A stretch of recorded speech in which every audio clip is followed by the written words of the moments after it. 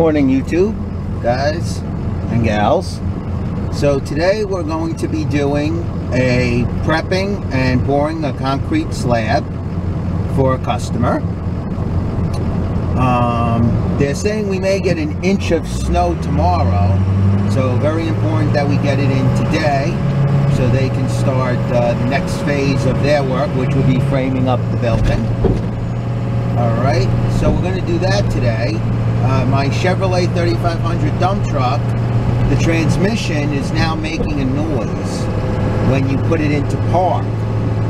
So I'm going to have to bring the truck in, have the mechanic check it out to see what's the story with that. So we're on our way to do this uh, concrete slab today. It's going to be around the 50s today, so that's actually pretty good. All right, guys. So uh, I guess I'll see you soon.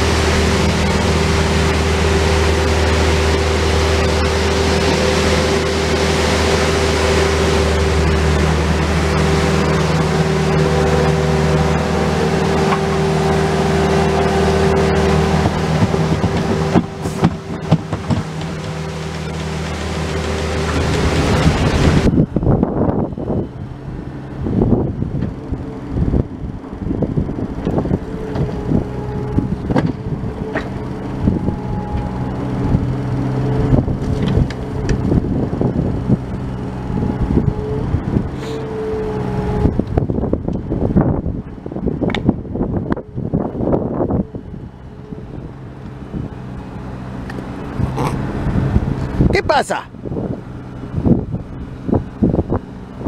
Ah.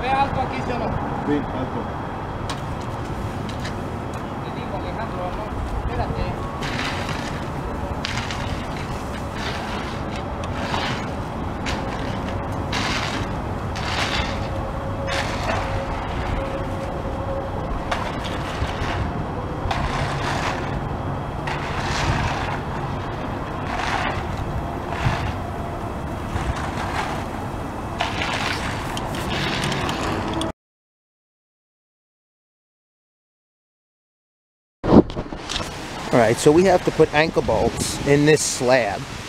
So I'm going to throw them in now for the framer so he can frame on top. These are the anchor bolts. We have to keep them in about six inches for a brick shelf. So this leg is about one inch. So I'm just gonna count six times.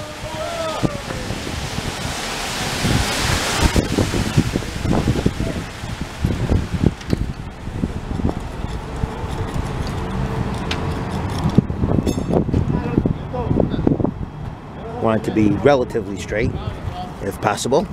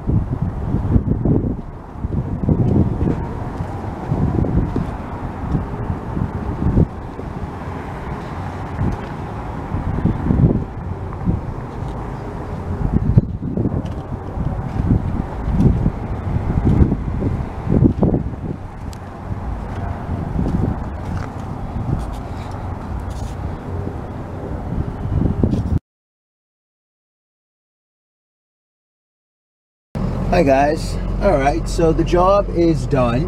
The cement is poured. And I just wanted to go over a couple of things with you that uh, I wasn't able to talk about while you know, we were working and making the video.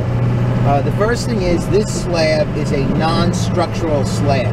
Uh, basically, it's just there to support tile and keep the moisture out of the building. So that's why it wasn't a big deal with the filter.